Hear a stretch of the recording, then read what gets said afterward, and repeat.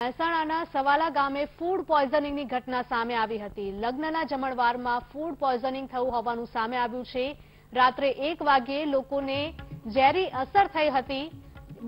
એક હજાર બસો પચીસ કરતા પણ વધારે લોકોને ફૂડ પોઈઝનિંગ થયાના અહેવાલ સામે આવી રહ્યા છે.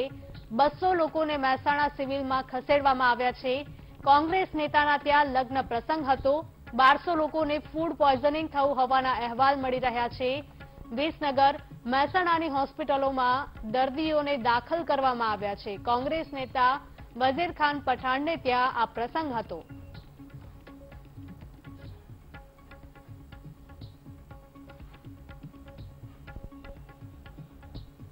આ મુદ્દે મહેસાણાથી સંવાદદાતા કમલેશ લાઈવ જોડાઈ ગયા છે. કમલેશ, જણાવશો કે કોંગ્રેસના નેતા વઝીર ખાન પઠાણના ત્યાં પ્રસંગ હતો. અને જમણવારમાં બારસો કરતા પણ વધારે લોકોને ફૂડ પોઈઝનિંગની ઝેરી અસર થઈ હોવાનું સામે આવ્યું છે. શું અપડેટ મળી રહ્યા છે આ મામલે?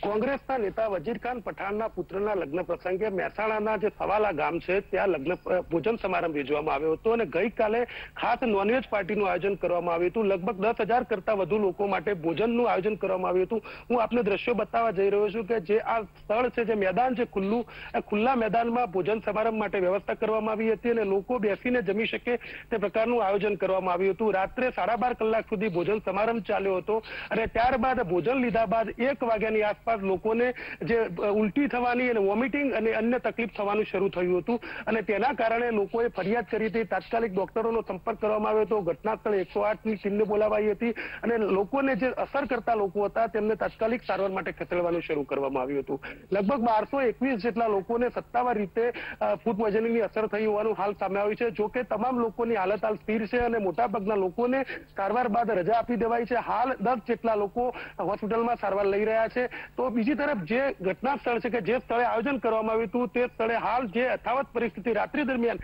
જે ઘટનાક્રમ બન્યો તે ઘટનાક્રમ બાદ જે રાત્રિ દરમિયાન જે પ્લેટ છે કે ભોજન છે તે પણ અધૂરું છોડીને લોકો ચાલ્યા ગયા હતા અને હાલ પણ જે સ્થળ છે, ભોજન સમારંભનું સ્થળ, તે સ્થળે હાલ જે પ્લેટ છે કે અન્ય સામાન તે યથાવત પરિસ્થિતિમાં જોવા મળી રહ્યો છે. તો બીજી તરફ જે દિલ્હી દરબાર કરીને કેટરિંગ કોન્ટ્રાક્ટર હતા, તેમની જે આ ઘટના બની ત્યારબાદ કોન્ટ્રી કેટરિંગનો જે કોન્ટ્રાક્ટર હતો, તે ભાગી ગયો હોવાનું સામે આવ્યું છે. તો વજીર ખાન પઠાણ સાથે સંપર્ક કરવામાં આવતા. તેમણે જણાવ્યું હતું કે જે હલવો હતો હલવામાં કદાચ કોઈ ખરાબી સર્જાઈ હોય અને તે પ્રકારે આ ઘટના બની હોય તે પ્રકારનું તેમના દ્વારા એક નિવેદન પણ આપવામાં આવ્યું છે. જી. જી, કમલેશ, તમામ માહિતી બદલ આપનો આભાર.